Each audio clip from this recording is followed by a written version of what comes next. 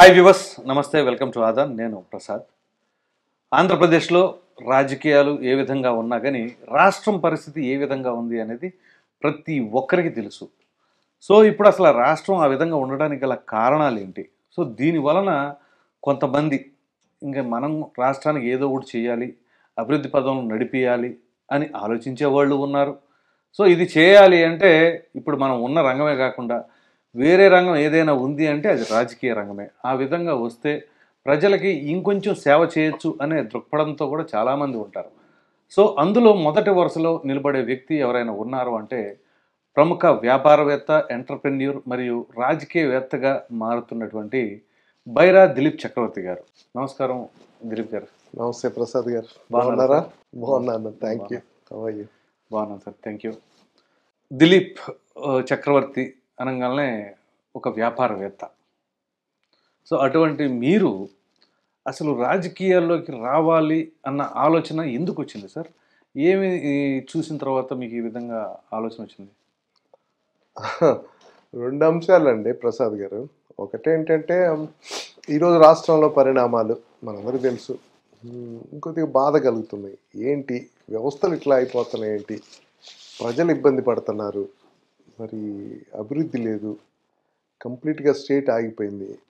వేరే చోటకి వెళ్తే ఆంధ్రప్రదేశ్ గురించి నవ్వులాట నవ్వుగా ఉంది. వింటున్నా కదా డబుల్ రోడ్ వస్తే తెలంగాణ సింగిల్ రోడ్ ఉంటే ఆంధ్ర. అంత ఇదిగా అయిపోయింది. ఇది కాక ప్రజల్ని నానా రకాలుగా కేసులు పెట్టి ఇబ్బంది పెంచడం వ్యవస్థలను ఫస్ట్ ప్రశ్నించడం ఇట్లా ఇవన్నీ చూసి కొంత బాధ కలిగి ఆలోచనలో ఉన్న పరిస్థితులు. దాని పోతూ జీవన గమనంలో కూడా మా ఫాదర్ చిన్నప్పుడు అంతా ఎలా చెప్పేవారంటే జీవితం మూడు భాగాలు. ఫస్ట్. భాగం first twenty years studies. Second twenty years up to fifty years family ఇది. థర్డ్ థర్డ్ ఫేజ్ వచ్చేసరికి? సొసైటీ. ఓకే. అంటే స్టడీస్ స్టెబిలిటీ సొసైటీ. త్రీ ఇయర్స్లో అనేవాళ్ళు మా ఫాదర్. ఓకే. అంటే ఇరవై ఐదేళ్ళ వరకు చదువుకోవటం ఇరవై ఐదు నుంచి యాభై వరకు మన ఫ్యామిలీ మనం మన కుటుంబం స్టే బాధ్యతలు స్టెబిలిటీ అవటం. యాభై నుంచి సొసైటీకి ఏమన్నా చేయాలి. ఓకే. అని మాకు చిన్నప్పటి నుంచి మా ఫాదర్ చెప్పడం అలాంటి ఆలోచనలు ఉన్నప్పుడు మేము కూడా యాభై రీచ్ అయ్యాం. ఈ డబ్బులు వీటికి వ్యాపారాలు there is no end yes అప్పుడు సరే ఆ క్రమంలో అనుకోకుండా రాష్ట్ర పరిస్థితులు వీటి గురించి బాధపడతా ఉన్న పరిస్థితుల్లో ఒకటి రెండు సార్లు అనుకో లోకేష్ బాబు గారితో వాళ్ళతో చర్చలు జరుపుతున్నప్పుడు. ఓకే. మీలాగా చదువుకున్న వాళ్ళు బాధపడటం కదండి. బాధ్యత తీసుకొని బయటికి రావాలి అని ఆయన అనడం. అప్పుడు నాకు అది బాగా డీప్ థింక్ దాని మీద బాగా ఆలోచించాను నాకు కూడా ఎస్ వై నాట్ ఎందుకంటే రాష్ట్ర విభజన జరిగినప్పుడు పరిణామాలు ఇక్కడ ఉన్న ఎంపీలు వాళ్ళు సరిగ్గా ప్రాతినిధ్యం వహించకపోవటం వల్ల ఎంత నష్టం జరిగింది ప్రజలకి? వాళ్ళ సెల్ఫ్ ఇంట్రెస్ట్ వ్యాపారం కోసం వాళ్ళు ఎంత కాంప్రమైజ్ అయిపోవటం వల్ల ప్రజలు ఎంత నష్టపోయారు? ప్రత్యేక చెప్పిన ప్రత్యేక హోదా రాలేదు పోలవరం పూర్తి కాలేదు రాజధాని లేదు. ఓకే. ఇవన్నీ చూసినప్పుడు అరే మనం దేవుడు మనకు ఒక లైఫ్ ఇస్తాడు ఈ ప్లానెట్ మీద వచ్చాము. కనీసం ఏదో ఒకటి సొసైటీకి కాంట్రిబ్యూట్ చేయాలి కదా మన మార్క్ ఏదైనా పెట్టాలి కదా అని ఒక ఆలోచన. ఓకే. మీరు వ్యాపార రంగంలో ఉన్నారు మీరు చూడండి డబ్బు ఏమి కాదు. పైగా ఒక సాఫ్ట్వేర్ కంపెనీ కూడా మీకు ఉంది. ఇటువంటి క్రమంలో ఇప్పుడు రాజకీయాల్లోకి చాలామంది సంపాదించుకోవడానికి అదని ఇదని ఏదో సమ్ ఎక్స్వైజీ ఏది చెప్పినా ఆ ప్రయాణంలో ఉంటారు. కానీ ఇక్కడ ప్రజాసేవ అనేది చాలా కీలకం అన్నట్లుగా మీ యొక్క ఉద్దేశం అనేది ఎక్కడ కనిపిస్తుంది అంటే అది మీరు చెప్పకముందే నేను కొన్ని వీడియోస్ కూడా చూశాను. వాటిలో ఏంటి అంటే మీరు కామన్ మ్యాన్తో కూడా కలిసిపోయే విధానం టీ స్టాళ్ళ దగ్గర మన ఇటీవల దాన్ని కూడా అదేంటిది మాడుగుల స్వీటా? హల్వా. హల్వా. రైట్. మాడుగుల హల్వా. ఇంకోటి కూడా ఏదో అట్లా బొమ్మలు. బొమ్మలు. ఏటి కొప్ప ఏటి కప్పులు రైట్. సో ఇట్లా మీరు ప్రతి ఒక్కరి దగ్గర అంటే ఈ స్టేజ్ లేదు ఆ స్టేజ్ లేదు కామన్ మ్యాన్ లేదు ప్రతి ఒక్కరితో కలిసిపోయే విధానం ఈ మొదటి నుంచి మీరు అంతేనా? అవునండి. చిన్న చిన్నప్పటి నుంచి మా కుటుంబంలో అందరూ అలాగే ఉంటారు. అంటే మెటీరియల్ థింగ్స్కి ఇంపార్టెంట్ ఇవ్వకూడదు. మనం అందరికీ గౌరవం ఇవ్వాలి మనం గౌరవప్రదంగా ఉండాలి అనేది మాకు చిన్నప్పటి నుంచి నేర్పింది. ఓకే. మా ఫ్యామిలీ విలువలు అంటాం కదా. అట్లా. అదేనా సింప్లిసిటీ? సింపుల్గా ఉండటం అవును. ఎక్కడైనా అడ్జస్ట్ అవ్వటం ఉమ్, ఏముందండి టీ ఎక్కడ తాగితే ఏముంది రోడ్డు పక్కన తాగితే తప్పే ఉంది. అట్లాంటివి ఏదో సంఘటనలు మీరు చూసి ఉంటారు వీడియో వైరల్ అయింది ఓకే. నేనేదో కనకాపల్లిలో రోడ్డు పక్కన ఏదో టీ తాగటం. నేను అవి ఎంజాయ్ చేస్తాను. అవి మంచి మధుర స్మృతులు జీవితంలో. సో ఇక్కడ పొలిటికల్ విషయం గురించి మాట్లాడుకోవాల్సి వస్తే ముఖ్యంగా అనకాపల్లి ఈ పార్లమెంటరీ సెగ్మెంట్. నేను మామూలుగా నాకు కొంతమంది సెపాలజిస్టులు వీళ్ళు తెలుసు వాళ్ళు ఏంటంటే ఎప్పటికప్పుడు వాళ్ళు సర్వేలు చేసుకుంటూ ఉంటారు. ఆ సర్వే చేసినప్పుడు మామూలుగా ఉత్తరాంధ్ర పరి- పరిస్థితి ఎట్లా ఉంది? ఈ ఇన్ఫర్మేషన్ అంతా గ్యాదర్ చేసినప్పుడు ఎస్పెషల్లీ మీ మీకు అడ్డా అయినటువంటి మీ అనకాపల్లి ఎందుకంటే మీ రూట్స్ కావచ్చు మీ తల్లిగారు కావచ్చు మీ బంధువర్గం మీకు చాలా బలమైన బంధుత్వం ఉంది అక్కడ.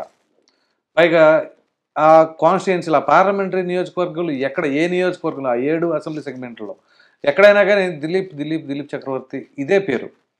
మరి ఎందుకని మీరు అసలు ఇంకా ప్రత్యక్ష రాజకీయాల్లోకి పూర్తిగా రాలేదు? ఏ పార్టీ తరఫున కూడా మీరు పోటీ చేయలేదు? ఇది ఈ ప్రజెంట్ సిచ్యువేషన్లో అటువంటిది ఎగ్జిస్టింగ్ పొలిటీషియన్ కంటే అక్కడ స్థానికంగా ఉన్న ఎమ్మెల్యేలు కావచ్చు ఎంపీలు కావచ్చు వాళ్ళకంటే మీ పేరే విరివిగా వినిపిస్తుంది. దీని వెనకాల అసలు ఏంటి కారణం? అంటే నేనేమంటానంటే అది మా అమ్మగారి ప్రాంతము బంధువులు ఉన్నారు. సరే నేను ఎక్కడో చోట నుంచి ప్రాతినిధ్యం వహించాలని ఒక ఆలోచన ఉంది. ప్రయత్నం చేద్దాం. ప్రయత్న లోపం ఉండకూడదు కదా. అది నేను అనుకోకుండా ఒక ఫంక్షన్లో మా చుట్టాలు అందరూ ఒక ఐదు ఆరు వందల ఫ్యామిలీస్తో ఒకసారి ఏదో డిస్కస్ చేస్తే. వై నాట్ ఫ్రమ్ హియర్ అన్నారు. ఓకే. బాగా బంధువులు ఉన్నారు. బంధువులు మా చిన్నతనం వరుసలు పెట్టి పిలుచుకుంటారు కదా. అవును అవును. మామయ్య బాబాయ్ అని చెప్పేసి అందరూ. అక్కడే కదా. అవును. అందువల్ల అప్పుడు అనుకొని దాని మీద కొంత ఇక్కడైతే ఎలా ఉంటదని మా ప్రపోజ్ చేశారా మీ వాళ్ళు? ప్రపోజ్ చేయటం దాని మీద కొంత ఎక్స్ప్లోర్ చేయటం స్టార్ట్. చేయటం. ఓకే. మాకు బైరా ఫౌండేషన్ అని ఉంది. ఒక సర్వీస్ లాగా దాని మీద. అది కూడా అక్కడ వర్క్ చేస్తా ఉన్నారు. మా బ్రదర్ ఒక ఆయన బ్రహ్మనాయుడు గారని ఓకే. ఇంకొక ఆయన బషీర్ గారని Hmm. వాళ్ళు కూడా అక్కడ సోషల్ యాక్టివిటీ చేస్తున్నారు. ఆ విధంగా ఇంకా అప్పుడప్పుడు నేను వెళ్తా ఇట్లా ప్రజలతో కనెక్ట్ అవుతా. నాకు కూడా నచ్చింది బాగా ఆ ప్రాంతం. చాలా మంచివారు. అసలు అనేది. సార్ అది. చాలా యాక్చువల్గా కన్నింగ్నెస్ కానీ అట్లాంటిది ఏ ఉండదు. అదే విధంగా వైలెన్స్ ఉండదు. చాలా మంచి ప్రజలు చాలా మంచి. ప్రాంతం. నాకు కూడా బాగా నచ్చి ఇంకా నేను అట్లా మామూలుగా కూడా తిరిగేస్తున్నాను ఊరికే. అంతా అందరు పిలుస్తున్నారు. ఇప్పుడు మొన్న సమరస్త సేవా ఫౌండేషన్ అని వాళ్ళు పిలిచారు. ఓకే. పాయకరావుపేటలో. ఓ ఫంక్షన్. అట్లా పెళ్ళిళ్ళకి శుభకార్యాలకి చిన్న చిన్న మీటింగ్స్కి కమ్యూనిటీ మీటింగ్స్కి అట్లా పిలుస్తున్నారు వెళ్తున్నాను ఏదైనా సహాయం అడిగితే చేస్తున్నాం. ఓ అట్లా అనుకోకుండా ఆ నెట్వర్క్లో పడిపోయి కనెక్ట్ అయిపోయాను. అట్లా అక్కడ పాపులర్ అయ్యా. సో ఇప్పుడు మీరు పార్లమెంటేరియన్ ఎలక్షన్ జరగాలి అవ్వాలి ఇదంతా జరగకముందే అక్కడ మీరు అసలు ఒక ఎంపీ అయిపోయిన స్థాయిలోనే ప్రజల్లో విపరీతంగా చర్చలు నడుస్తూ ఉన్నాయి. ఒకటి.